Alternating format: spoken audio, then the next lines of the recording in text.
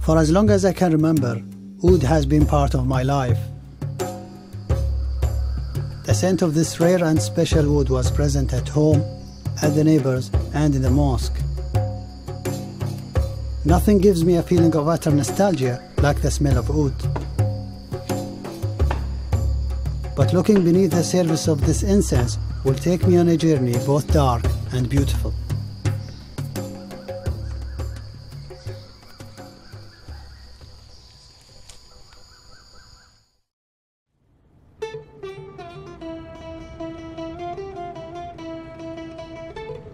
Scent of oud is part of life not just in Qatar where I live, but in most of the Arabian Peninsula. More oud is burned here than anywhere else in the world.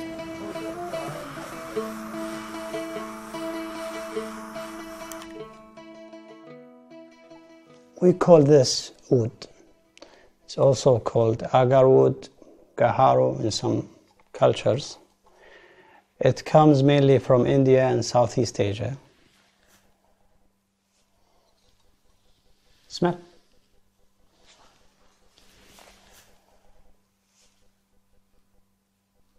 Yeah. Mm-hmm. Well, to you it might be weird, but to me it's really good because I'm used to it since I can remember. It's like you dipped the wood in a very nice perfume. Could you describe the smell? Happiness, I guess. It's so deep in my subconscious. When I use it now, it makes me feel better. Everyone has their own associations with oud, but above all, it's a communal thing, used to welcome guests or share with family and friends.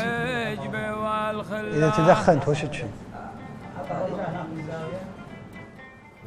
الجنه أنا بالنسبة لي العود من ضمن الاشياء الغاليه الثانية تطرد الكآبه يحس الواحد ببهجه طبعا على حسب نوع نوع العود. كل عود له له عندي ذكريات معينة. يعني مثلا العود الكمبودي. العود الكمبودي اشم أتذكر الوالده اذكر أول شيء. العود الهندي مرتبط في الوالد. وكل سبحان الله كل كل أنا بالنسبة لي كل قصة كل كسرة تحكي قصة. يعني تحكي عشرات السنين فيها. Yet in recent years, that story has been changing. These wooden chips have become incredibly expensive. And each year, the high quality wood we thought would be there forever when we were growing up becomes harder to find. This is the alley of perfumes in the old souk. Since wood becoming rarer and rarer, I will see now what they have to offer. السلام عليكم. هذا من وين؟ من هند. وهذا الكيلو بكم؟ كيلو 18 كيلو 18000 نعم. نايس. عندك شيء أفضل؟ لا بعد افضل هذا لا So basically, all of this is below the average good. Wood, which means this is below super. But anyway, I will smell it. Maybe I will like it. Part of the mystery of wood is that it never smells the same twice. Its strength and quality depends on the concentration of oil in the wood. But in the end, it's all down to personal taste. It's actually not bad. But either way, the Indian stuff is not for me. Uh, I'm used to the Cambodian and the Indonesian. This is more intense and fruity. The other one is more fresh and woody. The other one, the type I like. في واحد كيلو الله يسلمك انظر الكمبودي هذه سوبر فيه موجود موجود ممكن نجيبه قديم ان شاء الله ان شاء الله Even if you ask for the best stuff, they will not give it to you right away. You will have to try what they have. First, they will try to sell you what they have on display. You don't get it, they try to sell you from the bags that they have here. You don't like it, they go inside and bring maybe other bags with better stuff. I guess we'll see. تقول هذا كمبودي كمبودي وهذا كم سعر الكيلو؟ هذا كيلو 120 120 ألف 120,000 riyals is $34,000 which per kilo is the current price of gold. Yeah, this is much better.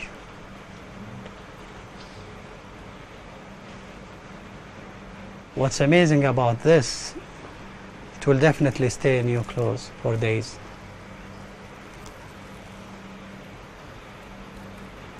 However, the price is too much and I can't afford it.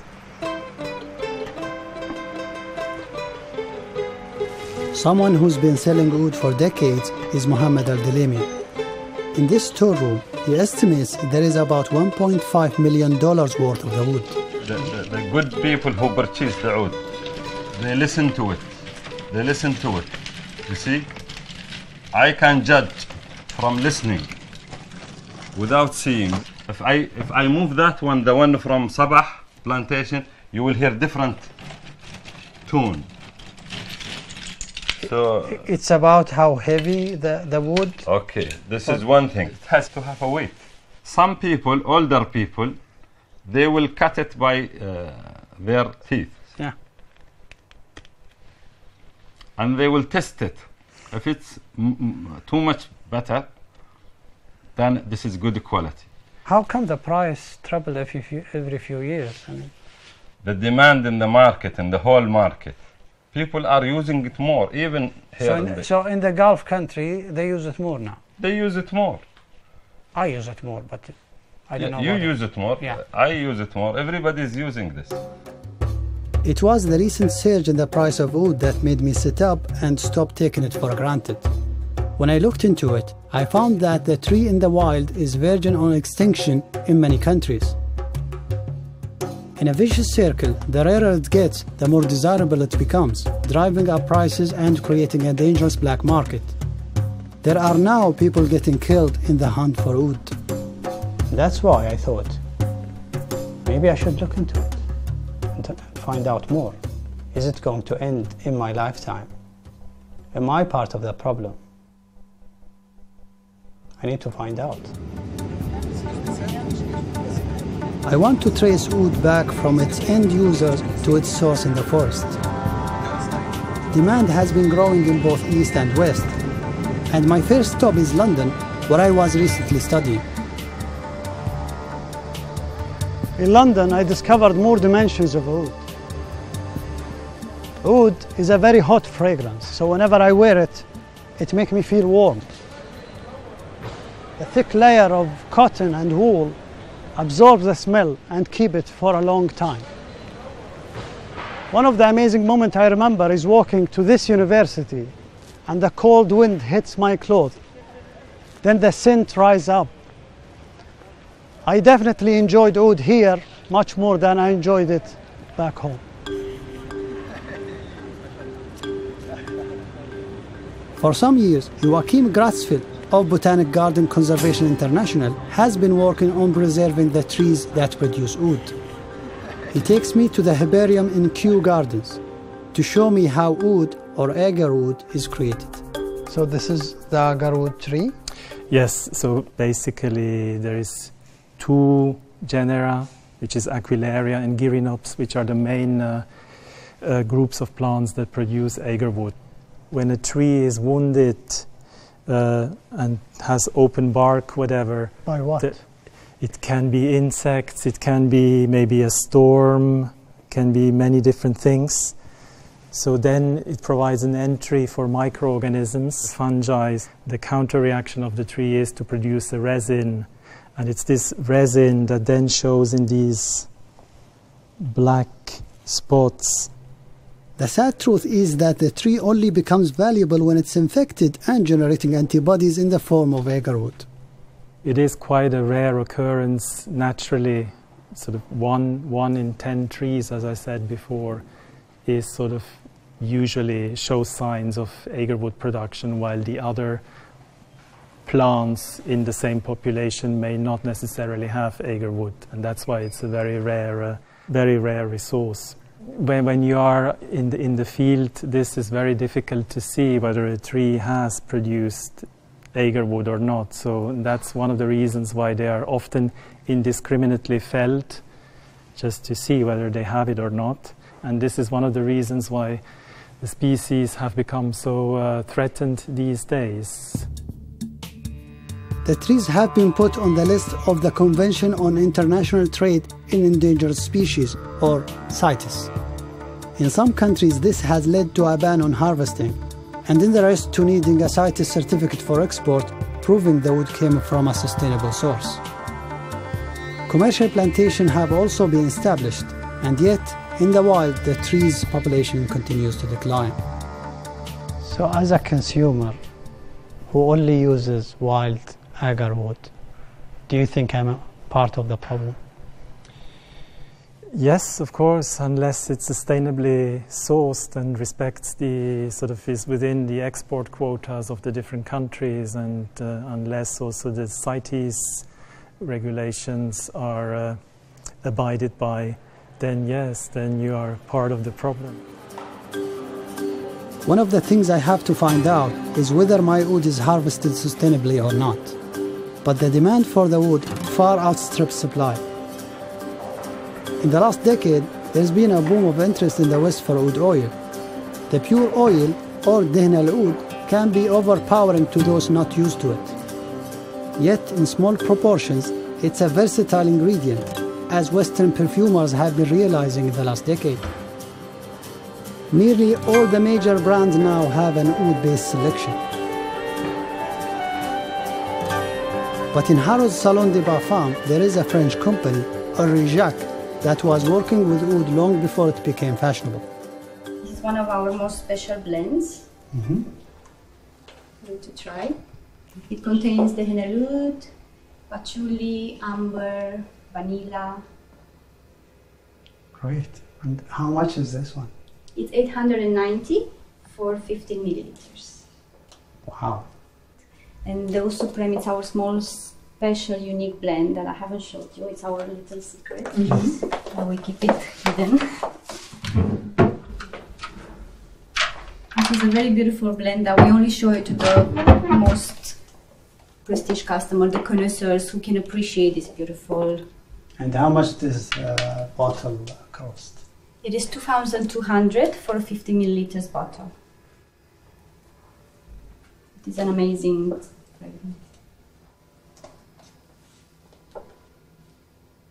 Because it's something new to the Western world, sometimes the reaction can be overwhelming, maybe. It's something that is not familiar for them.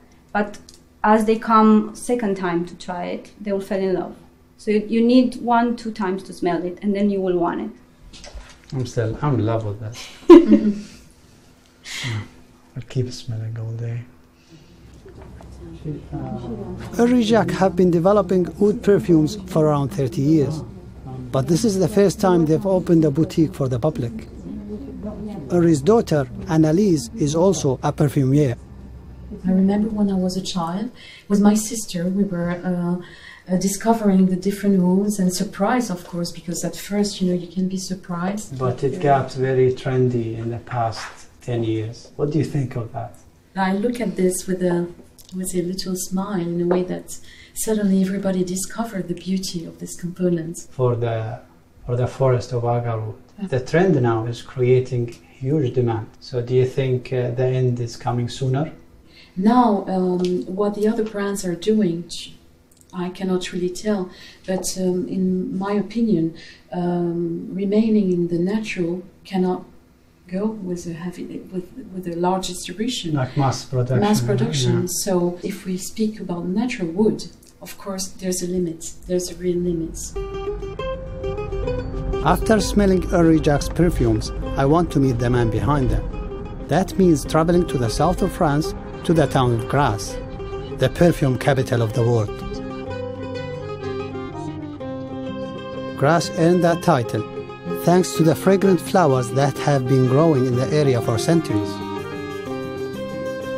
The jasmine that goes into Chanel number 5 is picked from these fields.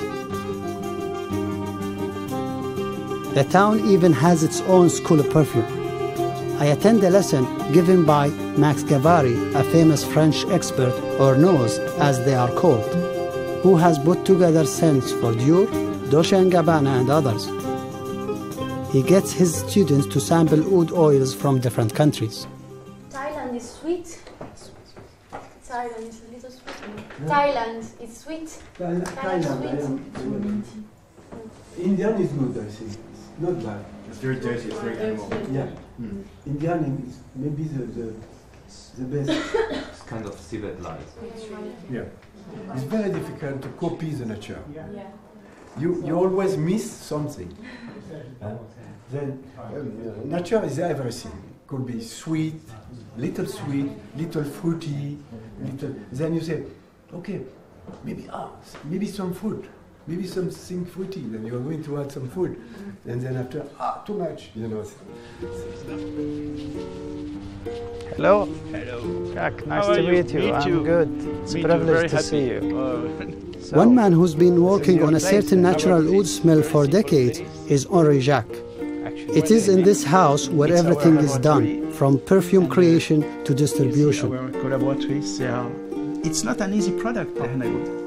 It's a very, very, very, very delicate product.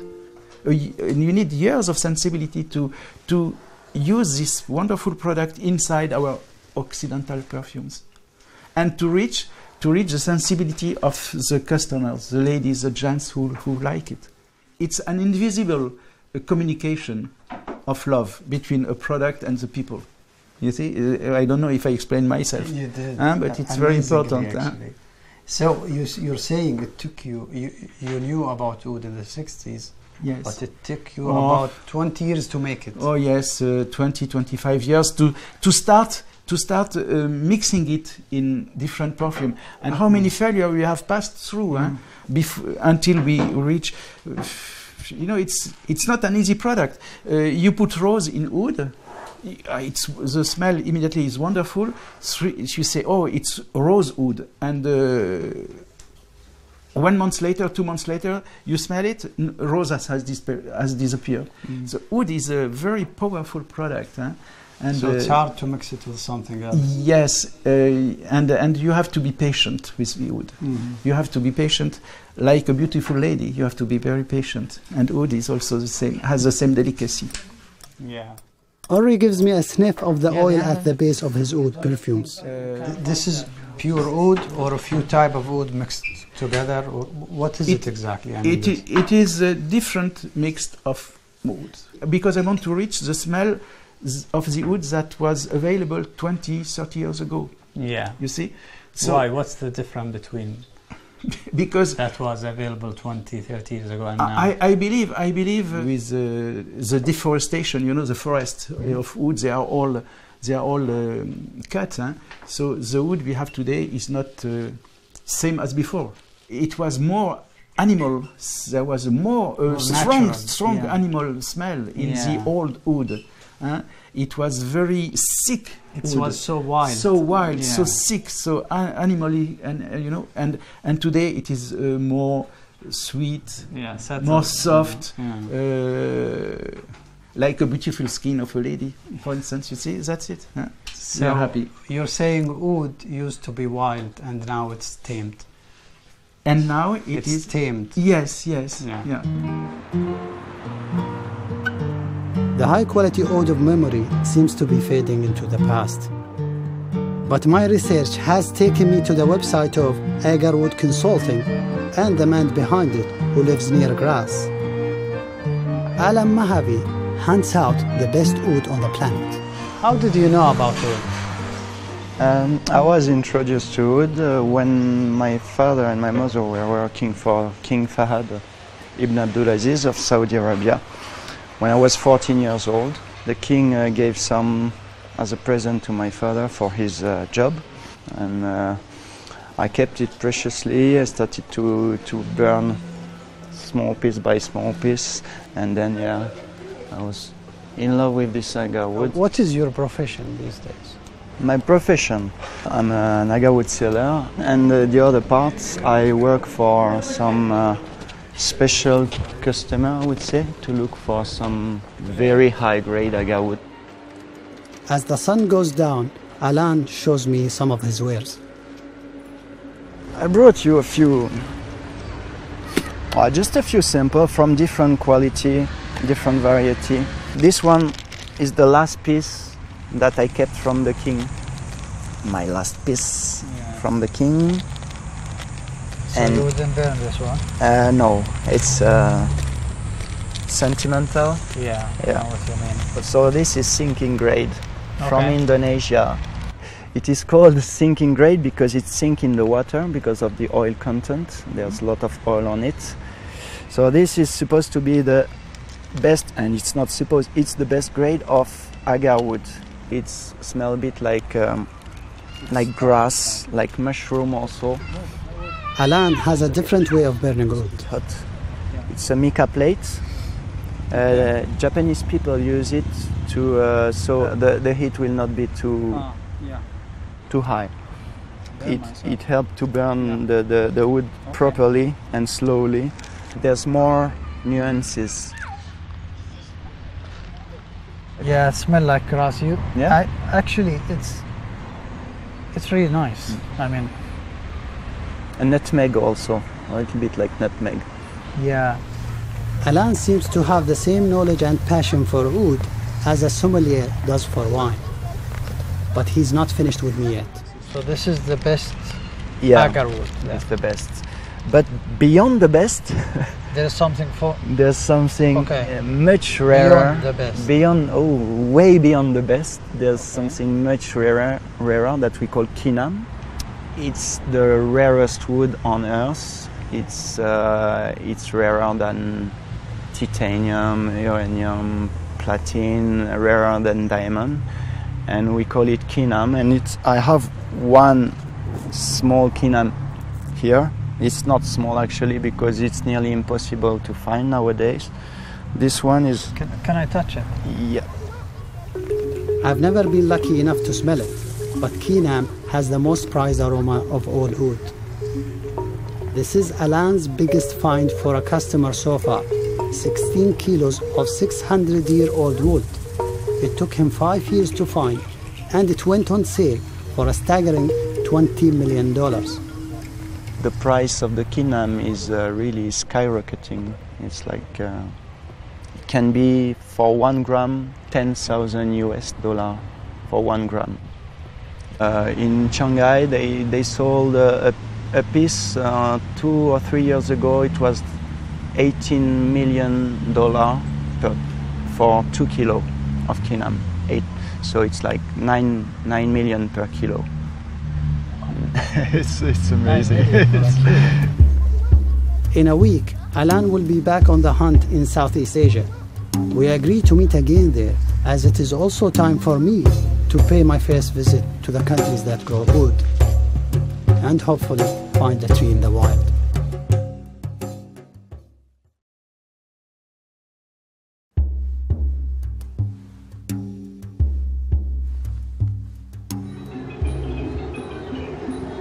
Bangkok, Thailand.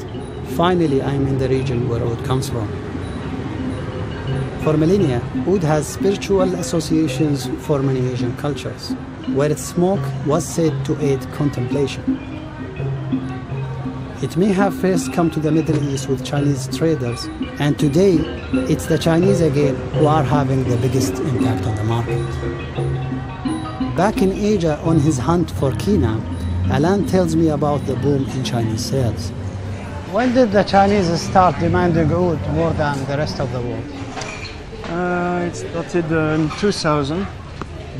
2000, yeah, recently, because of uh, the economic. Yeah.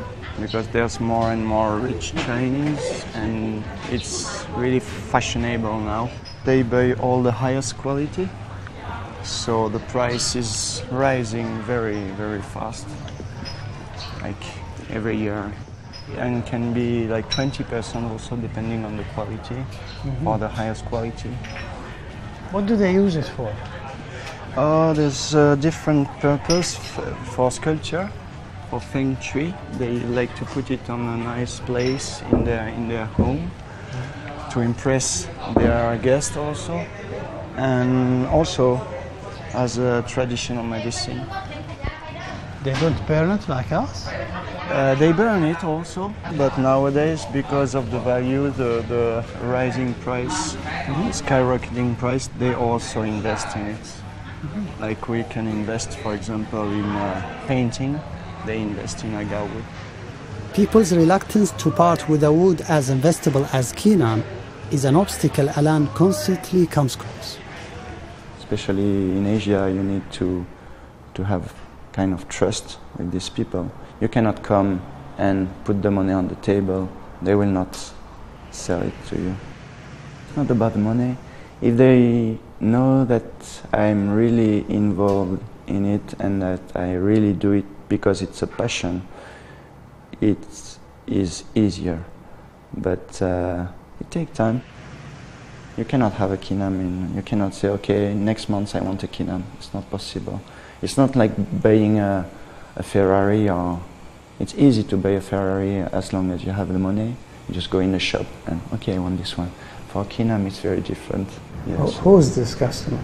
I cannot tell you about the Kinam customer. It's confidential. It's part of the contract. But from where, at least? Chinese customer. Mm-hmm. Mm. Alan has more than 200 Agarwood contacts in Southeast Asia. His most trusted one in Thailand is with Sawa, who started out harvesting wildwood but has since changed his ways. If we harvest the tree from nature, it's wasting to cut down the tree just only for few pieces. So I start doing uh, plantation business first because of money, and the second to save natural agarwood tree in the forest, still in the forest. Overexploitation has led to a ban on wild harvesting in Thailand, and across Southeast Asia, there has been a boom in plantations growing cultivated agarwood. Here, aquilaria are induced into generating their precious resin through chemical injections. Wetsawa also uses his own concoction on trees owned by farmers he knows. I will show you the tree that already done inoculation. I did it, uh, I think almost two years. This is the hole that uh, I drill with electric driller, and I squeeze the liquid, the inducer, inside the hole, into the hole. But what do you inject it with? What is this? This is the organic liquid. Anything is food grade. Yeah, but what's in it? Um, I can't tell you everything because it's, it's a secret formula.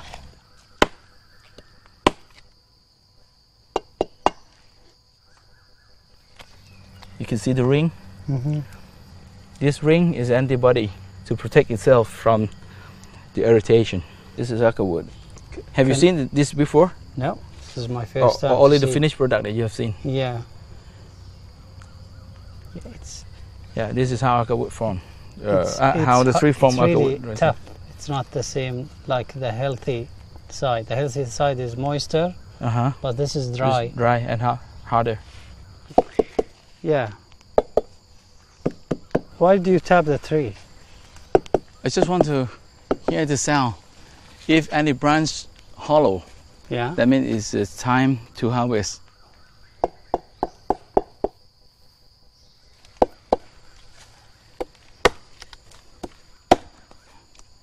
Yeah, it's ready to harvest. This one is good enough for a, a normal grade, not a super grade. After the agarwood has been harvested, it still needs to be separated from the healthy wood around it. This is like a wood piece. After done After carving. carving. After carving, yeah, right.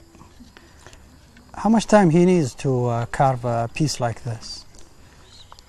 I think about three pieces per day. Very slow, right?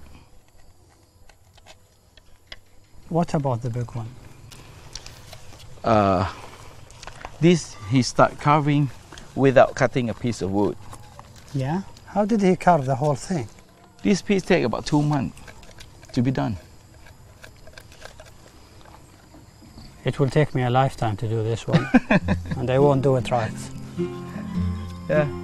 A piece like this will probably be sold as decoration. Plantation chips tend not to be the best quality because the wood is harvested after a few years or so, meaning the resin is less concentrated than it is in the wild. Yet, whatever the quality of cultivated wood, in the near future it may be the only option available for those of us who aren't super rich. I still don't know whether I'll ever get my dream of seeing a wild tree in the forest. But Alan and Wetsawa take me to a special place near the Cambodian border. We're coming to this temple to see a huge and very old natural wood, uh, uh, natural agar wood tree, How old? uh, older than 200 years old.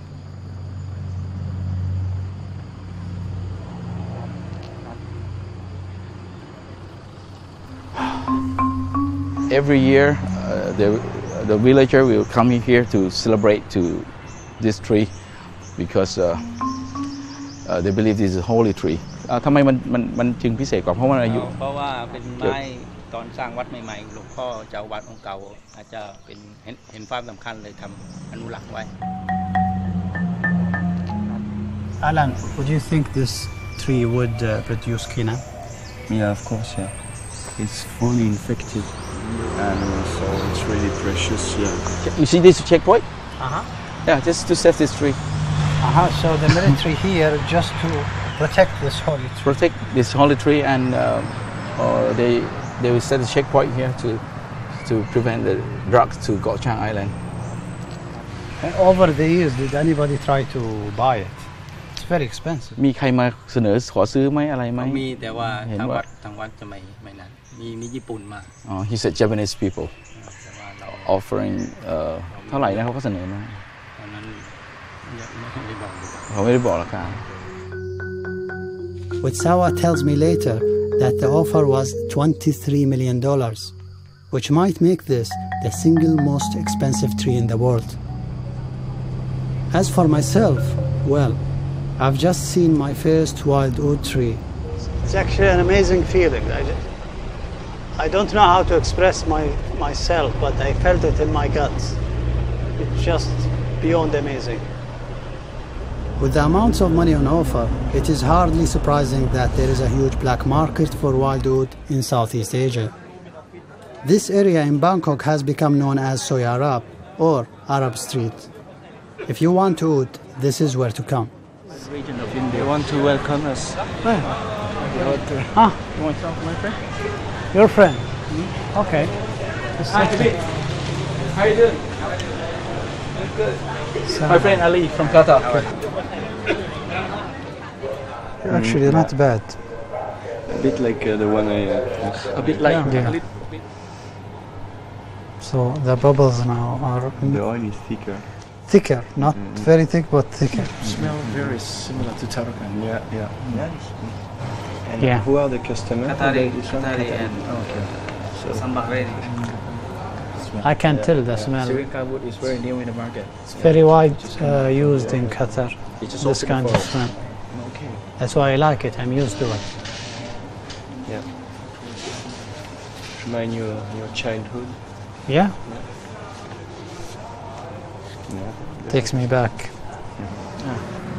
In lots of these shops, there are chips openly being sold from Cambodia, Sri Lanka, Burma, all countries where wild harvesting is banned. How does it come here? I thought it's illegal. But nobody wants to tell the truth. When you ask them, they keep telling, "Oh, oh I make it legally." Uh, but when you ask about the document, they don't have. They don't have anything to show you. How did they get it if they don't have a document? And they pay for the customs office. So you're saying they, they smuggle it to, to bring it here? They must. They must know somebody inside. I'm treading on sensitive ground here. I was warned in Qatar that poking around too much into wood in Southeast Asia could be dangerous. None of the sellers I meet will talk on camera about their trade. But eventually, I find a dealer from the Gulf who agrees to if his face is hidden. الحين العود ممنوع في كمبوديا ما تقدر تقطع الشجرة وما تقدر تصدره. نروح الكمبوديا. والتجار نفسهم اللي نشتري منهم العود. نتفق معهم على إن إحنا بنجيبكم ومعنا دراهمنا. حتى يمر من عند شو اسمه من عند الشاشة. إي من يندفع لهم كلهم الضباط. هي ترى أكثر الأمور في أمور واجدة ماشية فساد ولخبطه يعني أنت الحين تقول أن تجارة العود ما تمشي إلا بالدفع والفساد؟ والله في بعضنا. ويروح للخليج عادي و... الخليج يروح لهم جاهز مرتب. يعني التاجر الخليجي ما جاء وفي ديرته وجاهز مرتب ومرخص ونظامي. ما, ما يدري وش الأفلام اللي صارت. It's certainly something I didn't know about. My oud tends to come from Indonesia, where a quota of wild harvesting is allowed. But I've also learned that Qatar and other Gulf states have effectively opted out of the CITES controls on Aquilaria, in case it affects trade. The different rules for different countries have created the kind of spider's web on which the black market thrives. I take a secret camera around the shores of Soi Arab to find out more. I am even invited into a private flat where the best stuff is kept and other dealers are sifting through products. Does it come from what grade? How much? This one, uh, Burma. Burma. Burma. When it comes to getting banned oud into Thailand, several sellers say we have our connections. Another one said uh, we bribed the, pol- uh, the police, and he mentioned that uh, it's usually a chief of police or a high rank of police who send the lower rank to, to do his uh, dirty business. And when they when they come to uh, inspect these shops uh, and find out about the illegal oud s- sold there, Cambodia or India, they simply get paid like monthly to keep quiet and let it slide. Another person involved in the trade corroborates this. Everything is depends on the police. If, if they say it's okay, it's okay. They- otherwise, all of the shop will be erased. You're saying that all of these shops are in bed with the police? Yeah. Even the mafia who sponsor money for the hunter to hunting agarwood from the forest, they also paying the police to clear the way for them to get into the forest. And on the way back, they pay for the forest ranger. Somewhere, not everybody. Somebody, somewhere. Not everybody. So everybody. the corruption starts in the forest. Yeah And in the city also. Then an event in Thailand reveals the human cost of wild oat. This shows the dark side of the Agarwood business. Forest guard just got killed a few days ago by illegal poachers. I'm on my way to attend the funeral. Makawan Wantul was the journalist who broke the story. เสี่ยงในเรื่องของการปราบปราม คนพวกนี้ เพราะคนพวกนี้จะมีการติดอาวุธมาตลอด จะมีการติดอาวุธติดปืน อาวุธครบมือแล้วเข้าเข้าไปเขาเข้าไปเป็นเดือนนี่ฮะคนที่เจ้าหน้าที่ที่ถูกยิงที่หามา The dead ranger's name was Prasit Kumu, and his funeral is far larger than I could have imagined. Even the governor of the province turns up. Clearly, the killing of a park ranger means something here. Veteran Saimfala was one of Prasit's colleagues. Can you tell me what happened that night? ผมคุณอ่าเนื่องจากทางเจ้าที่เราเนี่ยได้รับการประสานอ่าเรื่องการข่าวนะครับว่ามีกลุ่มคนอ่าเข้ามาลักลอบตัดไม้กฤษณาในพื้นที่เขตรักษาพันธุ์สัตว์ป่าภูเขียวนะครับนะครับในการอ่าเข้าจับกลุ่มนะครับในระหว่างที่ อ่าทำการเข้าจับกลุ่มอยู่นั้นนะครับ คุณประสิทธิ์เองก็ได้เข้าไปคว้าตัวของอผู้ก่อเหตุเนี่ยนะครับ แล้วก็ไปคว้าได้กระเป๋าของเขามานะครับแต่ว่าพอคว้ากระเป๋ามาแล้วกระเป๋าเขาหลุดจากตัวนะครับเขาก็หันปืนนะครับหันปืนลูกซองอาวุธปืนลูกซองยาวนะครับ ยิงเข้ามาที่คุณประสิทธิ์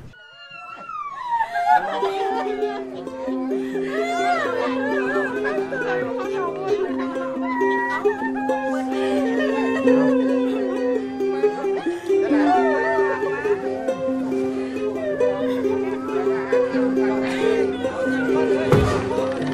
hunt for the poachers has been intense with over 200 armed personnel involved.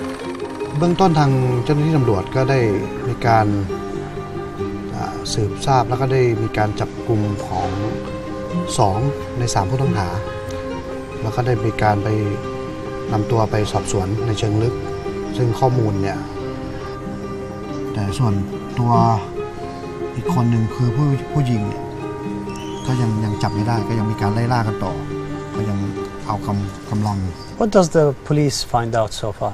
ตอนนี้ทางเจ้าหน้าที่ตำรวจก็มีการสืบไปได้เยอะแล้วครับ ไปได้เยอะแล้วว่า ผู้วงการพ่อค้าตัวเนี้ยที่เขาเอาไปขายเนี่ยมันได้น้อย แต่กลับไปมองถึงพ่อค้าคนกลางที่เขารับซื้อเนี่ยเขาได้มหาศาลเขาได้เขาได้มากกว่า ที่เขาเอาไปแอบลักลอบออกไปแล้วเขาไปขายเขาได้มากกว่า แค่คนโลภโลภที่จะเอาสมบัติของแผ่นดินไปขาย My initial dream of seeing an old tree in the forest feels less important now. However, after weeks of trying, a call finally comes through. I'm invited to Malaysia to see a more sustainable form of harvesting. Before I leave Thailand, I managed to get my first taste of kina. I want to give it the respect that Alan has taught me and do it the Japanese way. Fire the charcoal, cover it in ash so that the heat is softer. Add the mica plate and then the kina. It's only a few shavings, but at $1,000 a gram, 30 times the price of gold. It's, it's raw. It's I don't it's know. so animalic.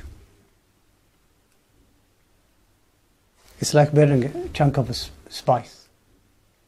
Is it the best food you've ever smelled? Definitely potential. In Malaysia, there is still enough wild area for its harvesting not to be banned. Under CITES, a quota of 200,000 kilograms a year can be exported. Mayam is an Orang Asli, one of the indigenous people of Malaysia. I Okay. He makes his living from harvesting what the forest provides. Top of those provisions these days is oud, known here as.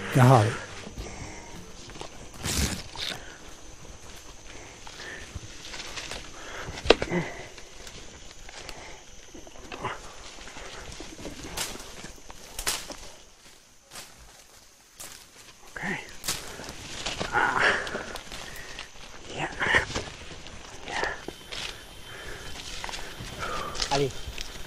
Kayu haru.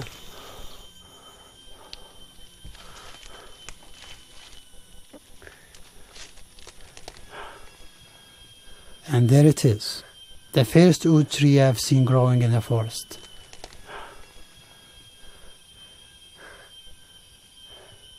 Mayhem. How come the tea is already wounded like this? Saya jalan-jalan dulu, saya lihat dia ada isi macam ini. Dulu di kulit macam ini dia akan kering jadi hitam. Itu tanda dia ada isi. Tanda ada isi. Selepas itu kapak. Guna kapak, ah, jadi inilah. Potong bawah, potong atas. Kasih pecah, ambil dia punya isi tengah.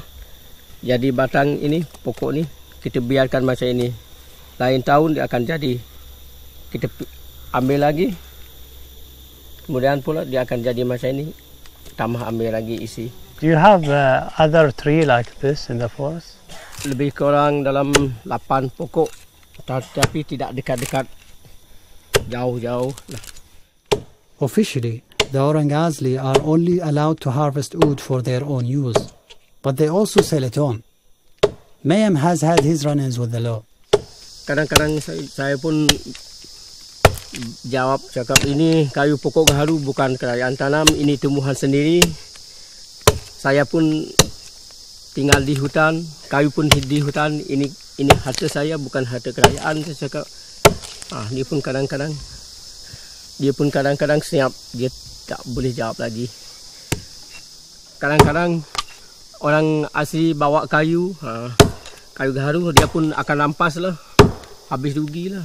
Orang asing tak boleh cari makan. Ah, macam itu. Do you think the tree still has a future here? Masa depan Malaysia, uh, kalau tidak ada uh, orang Kemboja, Vietnam, Thailand, Filipina mau datang lagi ke Malaysia mas, kalau tidak masuk lagi dalam hutan Malaysia ini pokok kayu kayu kayu masa depan banyak dia pokok besar pun kasih tubang pokok sebesar ini pun dia gali cabut cari IC It was, I don't know how to describe that. It's exciting and also sad because it was really hard to see it. We walked for hours and we didn't see any other tree, either healthy or infected. And eventually we saw only one tree, an infected one. And a local tribe member is harvesting this, this tree slowly and piece by piece. So, to answer my original question, am I part of the problem? Well, yes. I guess anyone using wildwood is some part of the problem. With the pressure put on it by people like me in the Gulf, by Western perfumers, by Chinese buyers and the black market, its survival may be reaching tipping point. The stocks in Malaysia and Indonesia, which are said to still be viable, supply just a fraction of the demand. The only hope I can see is plantations, where the tree can live long enough to produce the kind of resin that competes with that of the wild. But that will take time. Until then, all I know is that I will only buy wood from sustainable sources. And that after this journey, the scent of heaven will never smell the same again.